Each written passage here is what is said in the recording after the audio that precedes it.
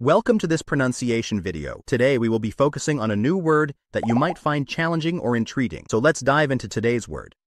O, which means the 15th letter of the English alphabet, zero in numerical context. Let's say it all together. O. O. O. One more time. O.